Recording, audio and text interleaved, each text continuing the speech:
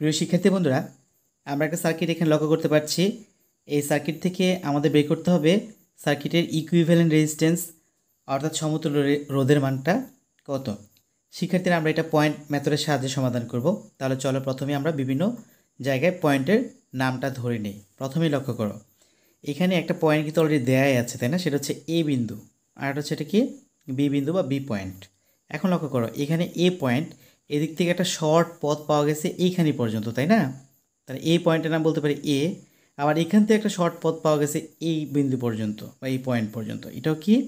এ ওকে আচ্ছা এখন লক্ষ্য করি, এখান থেকে লক্ষ্য করো, এখান থেকে এই যে একটা পথ বি তাই না? বি এটা একদম শর্ট পথ এখানে চলে আসছে। মাঝে কোনো ধরনের রেজিস্ট্যান্স নাই। আমি বলতেই পারি, এই যে বিন্দুটা বা পয়েন্টটা তার নাম হচ্ছে বি এখন এই সার্কিটটা আমি পুনরায় অঙ্কন করব। তার আগে একটা কথা বলে নিই, সেটা হচ্ছে দেখো, এইখান থেকে এ এখানে আছে এ তাই না? এই দুই এর সাথে প্যারালালে যুক্ত আছে একটা রেজিস্ট্যান্স সেটা কত? Ten ohm. তাহলে এই শর্ট পথের সাপেক্ষে কোনো যদি প্যারালালে রেজিস্ট্যান্স থাকে, তাহলে সেই রেজিস্ট্যান্সের মধ্যে দিয়ে কোনো কারেন্ট প্রবাহিত হবে না। কারেন্টটা শর্ট পথ দ্বারা এভাবে প্রবাহিত হয়ে, হবে। যার বিদায় এই টেন ওহম রেজিস্ট্যান্স আমরা কাউন্টের মধ্যে আনব না মানে বিবেচনা করব না। তাহলে দেখো, এই সার্কিটটাকে পুনরায় যদি আমি অঙ্কন করি, কীভাবে অঙ্কন করতে পারব? পুনরায় অঙ্কন করলে আমি এখানে দুইটা বিন্দু নিব, সেটা হচ্ছে এ বিন্দু, আর এটা হচ্ছে কী বিন্দু? বি বিন্দু। এটা এ বিন্দু, আর এটা হচ্ছে বি বিন্দু। এখন এ বিন্দু বি বিন্দু রেসপেক্টে কতগুলো পয়েন্ট আছে? দেখো, এই এই যে রেজিস্ট্যান্সটা সেটা কিন্তু এ এবং বি এর মধ্যে অবস্থান করতেছে। এটা যদি এ হয় এই বিন্দুটা এ বিন্দু। এটা যদি বি হয়, তাহলে এই বিন্দুটা হবে বি ওকে দেখো এ বির মধ্যবর্তী রেজিস্ট্যান্স ফোর আবার এইখানে দেখো এ বির মধ্যবর্তী রেজিস্ট্যান্স সিক্স আবার এইখানে লক্ষ্য করো, এটা তো কাউন্টে আসবে না, তাই না? তাহলে কাউন্টে আসবে কোনটা? এইটা, এই রেজিস্ট্যান্সটা এটাও কী হবে? এ বির রেসপেক্টে তার একটা মান আছে আবার এই যে এখানে একটা রেজিস্ট্যান্স সেটাও কী হবে? এ বির সাপেক্ষে একটা রেজিস্ট্যান্স পাওয়া যাবে। তার মানে বলতে পারছি এ এবং বি বিন্দু সাপেক্ষে এখানে যতগুলো রেজিস্ট্যান্স আছে, প্রত্যেকেই কি প্যারালাল অবস্থায় যুক্ত? তাহলে আমি একটু অঙ্কন করি। অঙ্কন করব প্রথমে এইটা। তার মান কত হোম ফোর হোম তারপর যদি আমি এটা অঙ্কন করতে চাই প্যারালাল সেটা কত? থ্রি ও হোম এরপর এটা অঙ্কন করব, কারণ এটা এই বির সাপেক্ষে। তার রেজিস্ট্যান্স কত? Four ohm okay? এটা অঙ্কন করব। এটা যদি আমি লাস্ট নিচের দিকে দিই, এইটুকু আমি অঙ্কন করে ফেললাম, সেটা হচ্ছে কত ওহম? এখানে যে রেজিস্ট্যান্সটা ছিল সিক্স ওহম, তাহলে এটা সিক্স ওহম। তো টোটাল ক্যালকুলেশন করা শেষ। যেহেতু সবাই প্যারালাল যুক্ত, তাই প্রত্যেককে আমরা কি করব? একসাথে ইকুইভ্যালেন্ট রেজিস্ট্যান্স বের করতে পারি। তাহলে আর টি বলব আর টি অথবা আর ই কিউ আমি বলতেই পারি four parallel four parallel three তার সাথে প্যারালাল হচ্ছে সিক্স তার টোটাল যদি তোমরা ক্যালকুলেশন করো, এর মানটা পাবে হচ্ছে ওয়ান ওহম। তাহলে এইটাই হচ্ছে এই সার্কিটটার সমাধান। শিক্ষার্থী বন্ধুরা, আমরা এখানে একটা সার্কিট লক্ষ্য করতে পারছি। এই সার্কিটটা থেকে আমাকে বের করতে হবে কারেন্টের মানটা কত? তাহলে শিক্ষার্থীরা, এই সার্কিটটা আমি যদি সমাধান করতে চাই, বিভিন্ন পদ্ধতিতে সমাধান করতে পারব, আমি সমাধান করব পয়েন্ট মেথড পদ্ধতিতে। তাহলে চলো বিভিন্ন পয়েন্টের নাম লিখে ফেলি প্রথমে। এখানে লক্ষ্য করো, এই যে একটা বিন্দু, সেই বিন্দু নাম আমি দিলাম হচ্ছে এ আবার এইখানে একটা বিন্দু, এই বিন্দুটার নাম হচ্ছিলাম বি ওকে তাহলে যেহেতু এটা এ দিলাম, এখানে এ সাপেক্ষে এখানে কোনো রেজিস্ট্যান্স নাই, তাহলে এখানে চলে আসলো কে? এ আবার দেখো, এখানেও কোনো রেজিস্ট্যান্স নাই, তাহলে আমি এই বিন্দুটাকে বলতে পারি এ বিন্দু। আচ্ছা এখন লক্ষ্য করো এই বিন্দু কিন্তু শেষ, কাজ শেষ। এবার বি যেটা ধরেছিলাম, এই যে বি এই বি এদিক থেকে এখানে এসে এইটুকু পর্যন্ত আসতে পারবে। কারণ তার মধ্যে কোনো ধরনের রেজিস্ট্যান্স বা বাধা সে পায়নি। তাহলে এই বিন্দু এই বিন্দু, একই বিন্দু। এখন শিক্ষার্থীরা, মাঝে আরেকটা বিন্দু আছে, এই বিন্দুটা। এটাকে আমরা যেহেতু এ এবং বি ধরা হয়ে গেল, এটাকে আমরা ধরবো হচ্ছে সি বিন্দু।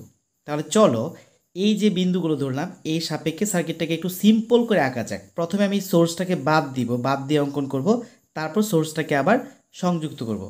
প্রথমে লক্ষ্য করো আমি একটা বিন্দুর নাম দিলাম হচ্ছে এ বিন্দু, আর একটা নাম দিলাম হচ্ছে বি বিন্দু। আর মাঝে একটা বিন্দু আছে, সেটা হচ্ছে সি। আমি আপাতত সিটাকে এইখানে রাখলাম। এখানে সি বিন্দুটা, ঠিক আমি যদিও মাঝে রাখতে চাই, এখানে সি বিন্দুটা রেখে দিলাম। তাহলে একটু লক্ষ্য করো, এ বিন্দু হচ্ছে এইটা, বি বিন্দু হচ্ছে এইটা, আর সি বিন্দু হচ্ছে এইটা। ফার্স্টে আসো, এই, এইটা কি হবে? এইটার কি মান আমি কি পাবো কি পাবো না? এইটার এই পাশেও এই বিন্দু আছে, এই পাশেও এই বিন্দু আছে। তাহলে আমি কি বলতে পারি? আমি বলতে পারি যে এটা হচ্ছে শর্ট অবস্থায় আছে। কারণটা কি? কারণ দেখো লক্ষ্য করো, এই পাশে যদি এই বিন্দু থাকে কারও, অপর পাশেও যদি এই বিন্দু থাকে হ্যাঁ এখানে যদি কোনো একটা রেজিস্ট্যান্স থাকে, তার মানে আমি বলতে পারছি যে উপর থেকে কোনো একটা শর্ট পথ অবশ্যই এখানে চলে আসছে। যার বিধায় তো দুই পাশে এই বিন্দু, তাই না? অন্যথায় তো দুই পাশে এই বিন্দু থাকা সম্ভব ছিল না। যেহেতু দুই পাশে এই বিন্দু আছে, তাই আমরা ধরবো উপর থেকে কোনো একটা শর্ট পথ অলরেডি এর মধ্যে করা আছে। দেখো এখানে শর্ট পথ কোনটা? এখান থেকে দেখো এ বিন্দু, এটা এ বিন্দু, তাহলে শর্ট পথ এ উপর থেকে এসে এটা শর্ট তার মানে এইটুকুর সাথে প্যারালাল অবস্থায় এই পথটা শর্ট আছে। যার বিদায় এখানে যে টেন হোম রেজিস্ট্যান্স সেটা আমরা কাউন্ট করতে পারব না। কারণ এর মধ্যে কোনো কারেন্ট প্রবাহিত হবে না। তাহলে এইটা বাদ। এরপর লক্ষ্য করো, এ এবং বির মধ্যে আর কোনো রেজিস্ট্যান্স আছে কিনা? হ্যাঁ এ বির মধ্যে একটা রেজিস্ট্যান্স আছে ফোর হোম তাহলে এ, বি। তাহলে এ বির মধ্যে যেহেতু ফোর হোম তাহলে আমি দেখো এখান থেকে এ এবং বি এর মধ্যে ফোর হোম তাহলে এ, বি। এমন আর এ, বির মধ্যে কোনো পয়েন্ট আছে? এ, বির মধ্যে আর কোনো রেজিস্ট্যান্স হ্যাঁ আরও একটা রেজিস্ট্যান্স দেখো, এই যে এ এবং বি, এই দুটো তো ফোর হোম আমি লিখলাম ফোর হোমটা লিখে নিই আগে। এইখানে লক্ষ্য করো তো, এইখানে কিন্তু এইটা এবং এইটা, এরা দুজন কিন্তু কার সাথে? এ, বি সাপেক্ষে যুক্ত। তাহলে দেখো, এখানে তিন ওহম, এখানে কত? পাঁচ ওহম। তাহলে আমি দুটোকে একসাথে যুক্ত করলে সিরিজে কত হবে? আট ওহম, তাই না? তাহলে দেখো, আমি এটাকে করলাম এখানে যে মানটা যুক্ত করলাম, সেটা হচ্ছে আট ওহম। সেটা কার কার রেসপেক্টে যুক্ত? সেটা কিন্তু অলরেডি এ বির সাপেক্ষে যুক্ত। এরপর আবার দেখো কি করা যায়। তাহলে এ বির এই প্রান্ত শেষ এ বির এই প্রান্ত শেষ। এ বির সাথে আর কোনো সম্পর্ক আমি আপাতত দেখছি না। পরে দেখো, এবার কিন্তু সম্পর্ক আছে বি এবং সি এর সাথে। বিসির সাথে সম্পর্ক, আবার এদিক থেকে কার সাথে সম্পর্ক? বিসির সাথে সম্পর্ক। আবার এদিক থেকে কার সাথে সম্পর্ক? এসির সাথে সম্পর্ক আছে। তাহলে বিসির সম্পর্কগুলো আগে কমপ্লিট করি আমরা। তাহলে বিসির সাথে কে কে আছে দেখো বিসি এ বি এবং সি বিন্দুর সাথে আছে আট হোম এবং এই বি এই সির সাথে আছে কত? আট হোম তাহলে বি এবং সি এটা হচ্ছে আট ওহম, কেমন? আবার এর সাথে আরেকটা আছে কি? আট ওহমের যুক্ত বি এবং সি এর সাথে, এটা হচ্ছে আট ওহম। তাহলে আমরা দুইটা কিন্তু কমপ্লিট করে ফেললাম। এরপর দেখো তো এ এবং সি এর সাথে যুক্ত আছে কি? Four ohm. তাহলে এ এবং সি তার সাথে যুক্ত কে? ফোর ওহম তাহলে এই সার্কিটটার সহজ একটা সার্কিট হচ্ছে এইটা। এখন দেখো একটা জিনিস বাকি আছে, সেটা হচ্ছে কি সোর্স বাকি। সোর্সটা হচ্ছে ষোলো ভোল্টের। এবং সেটা এ এবং বি সাথে যুক্ত। পজিটিভটা কোন দিকে? এর দিকে। তাহলে আমি এটাকে যদি জাস্ট উপরের দিকে একটা সোর্স হিসেবে এভাবে দেখিয়ে দিই। একটা সোর্স এ বিন্দুর দিকে আসছে। তাহলে এটা হচ্ছে এ বিন্দুটা পজিটিভ, বি বিন্দু হচ্ছে নেগেটিভ। তাহলে এই আমার সার্কিট বলতে পারি। এখন এই সার্কিটটা ভেতর দিকে যদি আমরা সমাধান করতে চাই, কি করব? দেখো এই দুটো আছে প্যারালাল আবার এই এখানে সরি এ এবং বি এর মধ্যে যে একটা রেজিস্ট্যান্স ছিল, সেটা যে তিন তিন এবং পাঁচ এই দুটা যোগ করলে আট হবে, সেটা আমি লিখে নিই, সেটা হচ্ছে আট হোম এখানে লিখে রাখলাম। এখন দেখো, তাহলে আমরা ক্যালকুলেশন শুরু করি। ফার্স্ট ক্যালকুলেশন হচ্ছে, এই দুইটা হচ্ছে প্যারালালে কেমন? আচ্ছা এরপর দেখো, এই দুটো কিসে আছে? প্যারালালে তাহলে এই দুইটা প্যারালাল করার পরে, এর সাথে কি সিরিজ যুক্ত হবে? তারপর এটা একটা পথ হয়ে পড়বে। আমি আস্তে আস্তে আঁকছি। প্রথমে দেখো একটু কি প্রথমে আমি এই লাইনটা ক্যালকুলেশন করি। এই লাইনটা যদি ক্যালকুলেশন করি, এখানে ছিল ফোর আর এখানে এই টু হোম এই টু হোম দুইটা যদি প্যারালাল আছে, দুইটা একসাথে যুক্ত করলে কত পাবো আমরা? ফোর হোম তাহলে এটা হচ্ছে ফোর হোম এই দুইটার ইকুইভ্যালেন্ট ভ্যালু আর এটা হচ্ছে ফোর হোম এখানে হ্যাঁ? আর মাঝের যে ভ্যালুটা সেটা হচ্ছে মানে মাঝের পয়েন্ট হচ্ছে সি আর এই পাশে পয়েন্ট হচ্ছে এ আর এই পাশে পয়েন্ট হচ্ছে বি কেমন? এখন এই দুইটা, এই দুটো যদি আমি একসাথে ক্যালকুলেশন করি, তাহলে এর মান কত পাবো? ইকুইভ্যালেন্ট মান পাবো হচ্ছে two point six seven ohm. তাহলে এটাকে আমি দেখাই এইখানে। প্যারাল অবস্থায় আছে কার সাথে? Two point six seven ohm. আর এখানে যে সোর্সটা ছিল, সেই সোর্সটা দিয়ে দিই। সোর্সটা সোজা করে রাখতে পারি। জাস্ট বাঁকা করে রেখেছিলাম একটু ডিজাইন করার জন্য, অন্য কিচ্ছু না। মানের কোনো ধরনের পরিবর্তন নেই। তাহলে এটা হচ্ছে আমার, এদিক থেকে যে কারেন্টটা ফ্লো হবে, সেই কারেন্টটা আমাকে বের করতে হবে।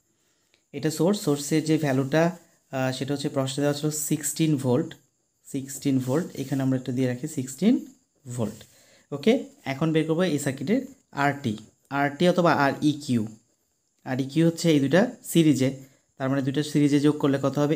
এইট তার সাথে এইটা যদি আমি প্যারালাল করি, তাহলে তার ভ্যালুটা পাবো two point six seven zero zero one eight ohm so টুর পরে অনেকগুলো দুইটা, অর্থাৎ দুইটা জিরো দিয়ে তারপর একটা ভ্যালু পাওয়া গেল। তবে এই ভ্যালুটা আসলে খুবই কম। তাহলে আমি বলতেই পারি, এটাকে নিয়ার অ্যারাউন্ড কত? Two ohm. তাহলে এটা হচ্ছে কি, আমার এই যে সার্কিটটা প্রশ্নে দেওয়া ছিল, এই সার্কিটের ইকুইভ্যালেন্ট রেজিস্ট্যান্সের ভ্যালু এখন আমাকে বের করতে হবে কারেন্টের মান, এখানে যে কারেন্ট আছে, তাই না? তাহলে কারেন্টটা বের করে ফেলি। কারেন্ট যদি বের করতে চাই আই ইকুয়ালস টু লিখতে পারি V by R E Q I অথবা আই টিও বলতে পারি আমরা এটাকে। তাহলে ভোল্টেজের মান কত আছে ভোল্টেজ হচ্ছে সিক্সটিন ভোল্ট সিক্সটিন ভোল্ট আর রেজিস্ট্যান্সের মান টু ওহম তাহলে ক্যালকুলেশন করলে আমরা মান পাবো হচ্ছে এইট এম্পিয়ার তাহলে এই সার্কিটের যে কারেন্টটা বের করতে বলা হয়েছিল পয়েন্ট মেথডের সাহায্যে আমরা কিন্তু ইজিলি কারেন্টটা বের করতে পারছি। এবং সেই কারেন্টের মানটা কত? সেই কারেন্টের মান হচ্ছে এইট এম্পিয়ার